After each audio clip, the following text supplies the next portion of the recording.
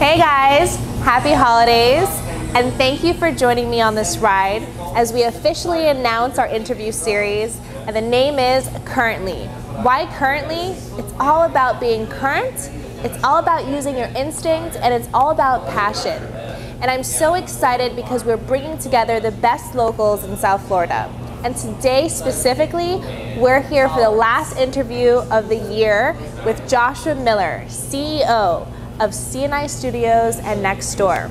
We're going to dig in deep and learn why he chose Fort Lauderdale. And again, thank you for joining me on the journey. We have an incredible year planned ahead. Let's go inside.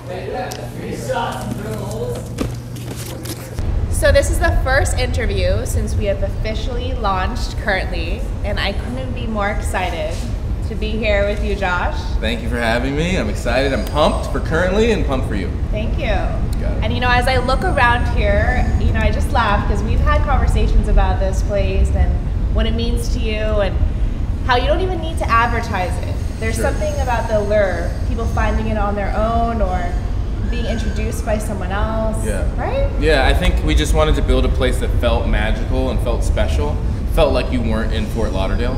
And so when you come in, you walk down the hallway, you see these amazing books, you push open the secret bookshelf door, and you have another Narnia world kind of revealed to you. Uh, you know, we wanted to build something that made people feel something magical. So tell me what C&I Studios, what, what it is and what it means to you. Uh, so I think traditionally C&I Studios is an advertising agency who also produces original content and really connects with the community. So we work with a lot of uh, different brands and organizations and individuals to help get their message out through, I mean, any use of media, whether that be film or video, photography, web, marketing campaigns. We do a lot of that. Um, then also we have a really strong connection to the community. So we're doing, uh, that's why we even have a coffee shop and a bar next door. We want people to come and hang out and experience this and talk to strangers and build relationships. So that's like big for us. Um, we don't need to have that. It's really just a hobby. Um, but I think that's a big focus for us. And then also just making original content, making films and uh, uh, photo books and things that we want to produce that kind of ha- is like our passion project. So. And does a lot of it happen here, or is yeah. it a mixture? I know you're traveling a yeah. lot. But yeah, I mean this is home base, so Fort Lauderdale became something super special for us. We kind of stumbled upon it, um, but then we've been here for we've been in this studio since 2010 or something like that, so it's been quite a while. Um, and uh, so we, you know, there's 46 people that work here. So every day we're surrounded with a bunch of different diverse people talking about ideas and strategy. Uh, and then we also have, uh, we started our company in Washington, D.C. So we still have staff members there and in North Carolina and also in Los Angeles. And then we have one staff member, uh, my bearded friend Brandon Baker, who is in London. Wow. Yeah. So, okay, let's roll back time, right? How did you stumble upon Fort Lauderdale? Had you? Yeah. What? How did that yeah. happen? I mean, total accident. I was in Washington D.C. and I was kind of tired and fed up, and we were thinking New York City or Los Angeles. But we kept getting this. We got this job um, with uh, Sun Sports, which is a TV show down here and filming and editing some of their shows. So I would come down here, work, and go back and do it again and do it again and do it again. And then finally, my partners were like, maybe we should do something in Fort Lauderdale. We came down to Fort Lauderdale and we felt like, man, we can really create something special here. And the town seems so. You know, if you have a New Yorker in LA, yeah, they're really big towns, but they're established, they're done. Right. Fort Lauderdale felt like Legos, like you could Right. just build whatever you wanted to build. You saw that vision. Yeah, and so we did that. Uh, the So- community responded. So when you came here, let's let's close our eyes for a moment. Tell me, okay, how was Fort Lauderdale when Yeah. you first arrived, then versus now? Man, I think Fort Lauderdale when we first came in 2008 was, uh, man, I don't want to talk bad about my city, but I It's think not it- bad. I think it's it's important for people to know. I think it was just super like limited and like unavailable and one-sided. When I came here, it was like Las Olas right. and Second Street, and and I we, we struggled the first couple years because I did not enjoy Fort Lauderdale. I just came from Washington D.C., full of culture, full of diversity, and Adams Morgan and history and Right. buildings that weren't built a year ago. You know, and then we came down here and we're like, so where is it? You know. Where's, where is it? Yeah. And then we realized that there, the thing we were looking for didn't exist. So we had to go build it. Build it. And uh, when we came here, it was horrible. Everyone was like, "Where are you going to be off of? Off Sistrunk? People are getting stabbed, or your cars are getting broken into." And we're like, "No, we're building a studio." and uh, and we did. And the funny thing was that the community just was like, "Yes." We found out very quickly they were very that we weren't the only people that felt that way. We weren't the only people that was looking for that thing. We had nowhere to go when we first came here, so we had to build the place where we wanted to go. And in turn, there was a lot of other people that felt like that. So they the started. community was almost like they were. They were like, yeah, they were like, finally, you Oh know. So uh, that was that was really cool. So, so now as I was pulling up, you know, li- living here as a local, sometimes you kind of forget or you just kind of become immune to all the changes Yeah. that are happening. Yeah. So I've noticed, you know, like Henry's next door. Yeah. Like, tell me a little bit about all the new, like, I think Places dev- that are I think up. development is happening, you know, everywhere. So there's a big construction project going on. There's an apartment building on Andrews or something. Mm-hmm. Henry's came in, and uh, after us a while ago, General Provisions came in, and uh, I think that's a good thing. You know, people that are. Uh, I'm glad that people saw C&I as a pioneer and said like, oh, Yeah. you know, when you see somebody else do it, they're like, well, I think I can do it too. right. You know, right. and. Uh, someone made that leap. yeah, and so I feel really good. I feel really, you know, me and my team, we feel really like accomplished that we did that, and we paved the way for a lot of other people to come here. Now I think big money is able to capitalize on that. So they're saying, hey, there's a bunch of artists here, there's Right. community here, there's a coffee shop, there's an art walk. We should put a building here. We should put Yeah. this here. We should put this here. So I think it's all developing. It's all, and, and it's great. And so we welcome that because I think you know. You know what's New York City with one bar, you know. So Yeah, no, you have so to it's very great. To, it's, it's really cool to see it the the whole community start to become like a little city. No, no, absolutely. And I know you have the last Saturday of every month. That's kind of how I, looking back, it's been a couple of years since I've been coming here. Sure. That's what drew me initially was the art walk Yeah, here. I think it's funny people that don't know where the art walk is or where Fat Village is, but yeah, I mean, uh, every last Saturday of the month, all the studios on the street, including ours, um, open up, and uh, we don't just want to show art. We love doing like really cool experiences. We want to like hang out with people and do something really interactive and showcase art and technology and science in a really cool way. Yeah. Um, not just like here's a painting on the wall, Right. But like, Right. can we do something where we jump through that painting? Can we do it with our friends? Um, and so I think we're always trying to one up ourselves every single time.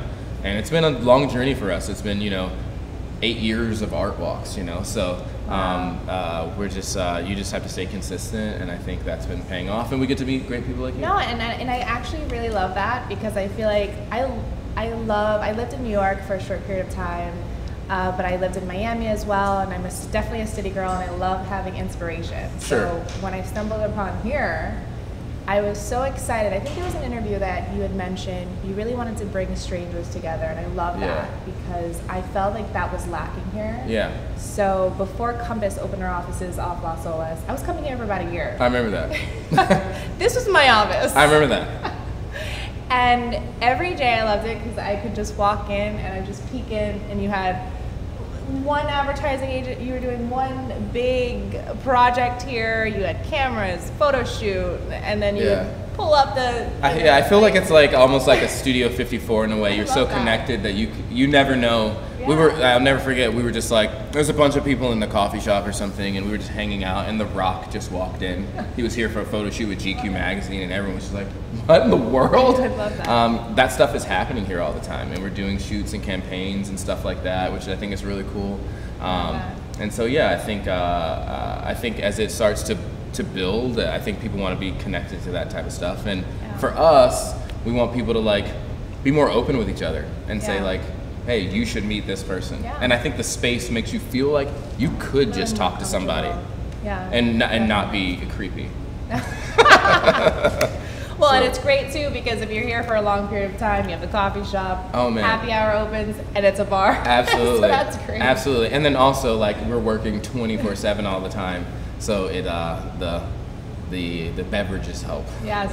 so I was actually on the website and I saw a lot of Millers. Yeah. You know. Yeah, And so I want to talk. how, how has it been working with family? Yeah. And then just talk a little bit about the team. Yeah, so family, a lot of people say don't work with family, and I think that's probably true for a lot.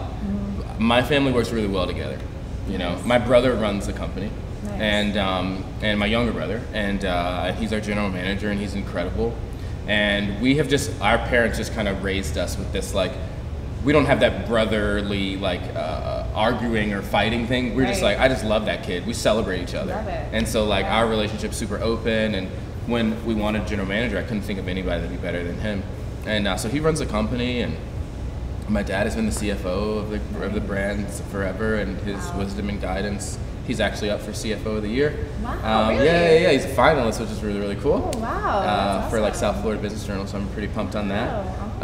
Um, but yeah, I think Pops. yeah. So that's been great, and the team in general. I think C&I is hard because people do come and go here, um, and I think people think that that is a bad thing.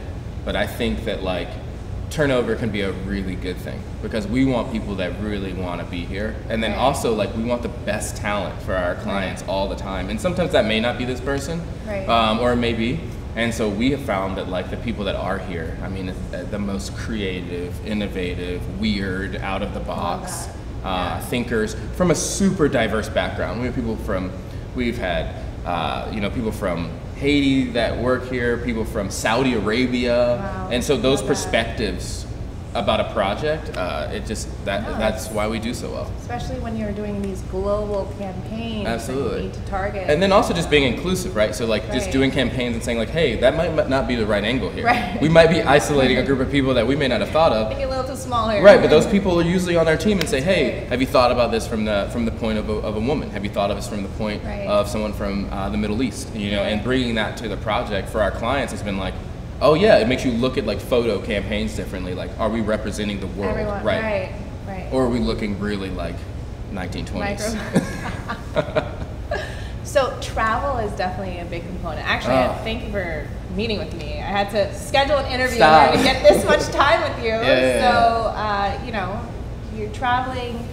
I know you have offices, West Coast, Yeah. you know, all over. Yeah. But how has travel been for you? What has that done?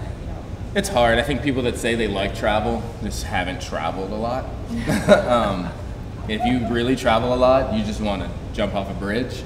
Uh, so we travel a lot. we don't want you to do that. No, no bridge jumping. No. People that are watching, talk to a therapist.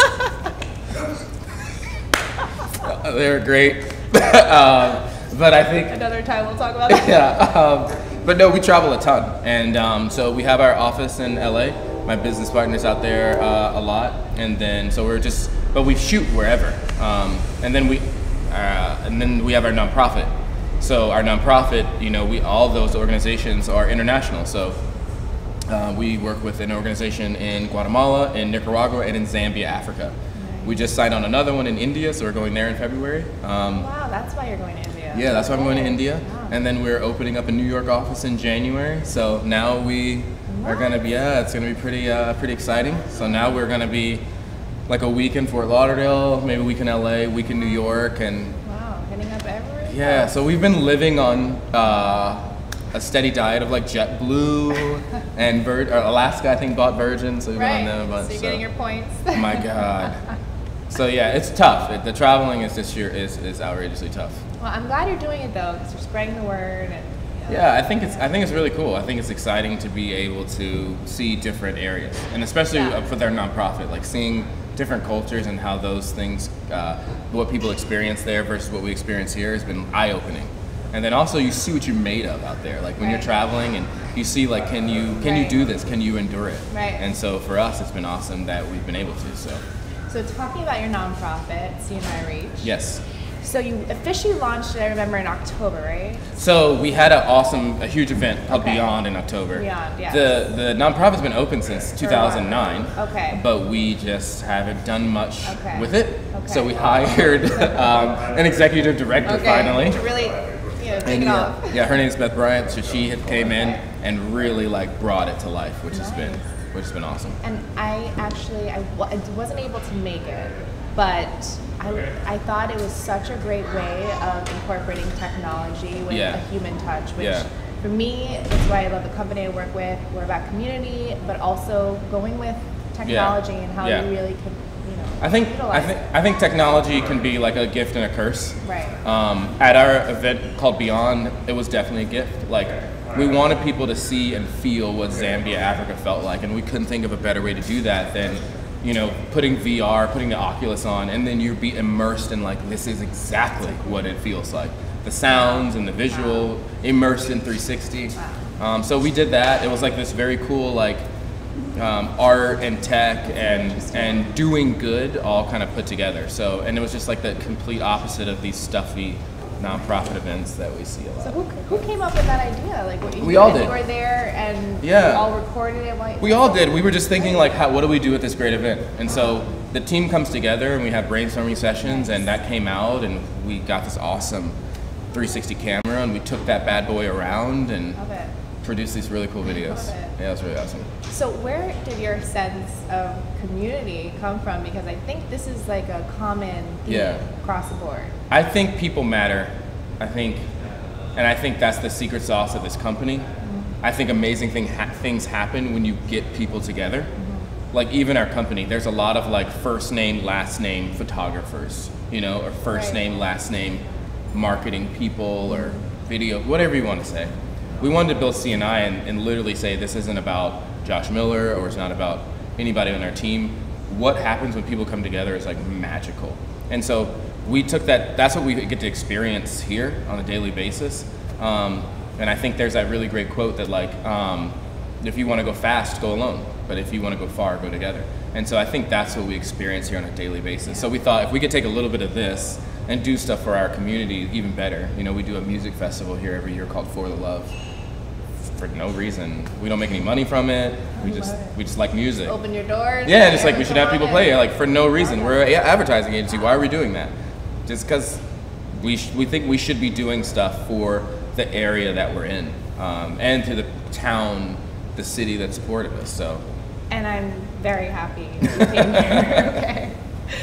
Speaking of, we were just the train. I just heard it Yes, came by. it did. the Brightline train. it did. Which I'm very thankful for because Yeah. I travel a lot between West Palm, Miami. Yeah. And I think that's been a blessing. Uh, I was actually just at an event called Rise in Fort Lauderdale Neighborhood. Okay. at Bisnow. Okay. and I thought it was it was it was fascinating because it really put the perspective of what was happening in Fort Lauderdale on the table. There's a lot of people from out of state and from Palm Beach and Miami.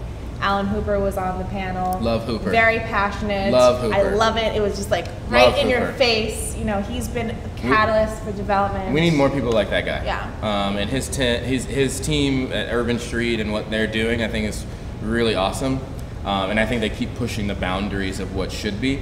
Um, and uh, so I, I really enjoy, I think, what Fort Lauderdale is becoming. And seeing stuff like the Brightline pop up, like you said, is great. Like more stuff like that, I think, is where um, is what the town needs. So So you're happy with the direction of yeah, I think it's more. I think we're not pushing the boundaries enough. okay. I think I think we're not going wild enough. To be quite honest, like you see all these apartment buildings pop up everywhere, but I'm like, there's not enough people to live in them, and there's not enough things for those people Right. who live in them to do. right to keep So them here. right, so let's focus on some of that. I would love to see more stuff like that come in, more venues, Yeah. more galleries, more more bars and, and restaurants, and and and also uh, catalysts for people that are like doing really cool things. Yeah.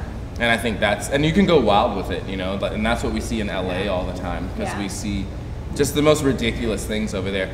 They had this really cool thing that I was just at because we were at a, we were at a chamber event in LA, and they were every building that is built downtown is required to have an artistic element, a visual artistic element to that building. Really? Yeah, on the facade. Like you can't build a building unless you're going to do an art piece and stuff like that. Is like wow, they like made a really a really good right, mandate. You know, so that means all your buildings aren't going to be stale and Right. crusty and the same cookie cutter thing. It's going to have this like wild side to it, and that's Yeah. like LA. So I think we could keep pushing the boundaries and doing more. And then I think you find that people want to live in those type of towns. Yeah. And I think you'll find that more in Flagler that as people do stuff, people don't want to live here because there's a, an apartment building. They want to live here because what that what's around that apartment building. What's that area? They got the Brightline here. There's that cool Yeah. coffee shop and blah blah blah. And then I think um, and I think I like what you guys do at Compass because you guys are connecting those people in those areas. So I think that's pretty cool. And, and that's what I, I lived in the lofts right across Right. and I loved it Yeah. because it was just very creative and I could like live off of Yeah. that vibe Yeah. which I thought was really cool. what what do you see or what are you bringing that maybe that's coming soon? Yeah. Um, that what- we should be. What's next? I think what's really cool we're working on right now is we uh, just worked on a really cool film that we shot here in Fort Lauderdale, Florida, and um, oh, and there's the Brightline. Speaking of the devil, we shot this awesome film here in uh, Fort Lauderdale and in Brooklyn and in Manhattan. Um, and so we're actually releasing that film on Christmas Eve. So I think that's one of the coolest things that we're doing right now. So we're really pumped on that. Um, How we? How can we watch it? It's know gonna- just yeah. showed a sneak peek of it. We did. right we had Sunday. we had, we had a showing here. It was packed, hundreds of people, standing ovation. It's a really powerful film, so I'm really excited about it. Um, but it's going to be on Amazon on Christmas Eve. So if, I think everyone in the world has Amazon. So you Of op- course. open that bad boy up and watch it. Awesome. So yeah, that's new for us. And then um, and then also just keep us in mind as we venture to New York. I think that'll be the next big Yeah, step for us. that'd us. be great because I mean Yeah. now with everything going on, most of the clients I work with they're in the Northeast. So Yeah. I'm. Mean the other There's day, something strange about Fort Lauderdale and New York. People from New York go to. Fort Lauderdale. From For people from Fort Lauderdale go. Yeah, I don't know. So And I, I think it's really, really great. I'm so excited about that. I love New Yeah. York, and just I was with a couple yesterday, and they they're just discovering it and being in seeing their eyes. They're like, oh wow, this is actually Yeah. hip, young. There's some things Yeah. to do. I'm like, yeah, you have no idea. Yeah, you real know? big old city. so uh, we're really excited about that. So next year's looking good. So when you're not working and bringing the whole community together, Sure, sure. Tell me what a perfect weekend would be for you. Okay, this is gonna sound really bad, but I'm gonna be straight up honest. I love honest. Perfect weekend to me is nobody's around. I'm inside of my house and I never leave. okay. I've got my laptop. Okay. I'm watching episodes of Seinfeld. Seinfeld. All right. And that's it. Okay. The sun rises. Decompresses. I walk around. I go to the bathroom. I type some things. Back to the basics. I go to sleep. I don't see anybody. I don't do anything. I'm always doing stuff, so my dream is to not do anything. I doubt that's going to be the case with you. Yeah, that's true. I talk about it all the time. Like, I just wish I could go to a beach and hang out, but I'd be the type of person that would start something on that Yeah, beach and then do like, no. something and then whatever.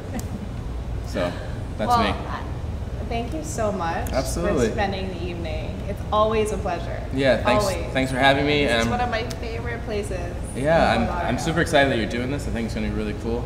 And Yeah. so, thanks for having me. Stay tuned, everyone. Cheers. Thanks. Cheers.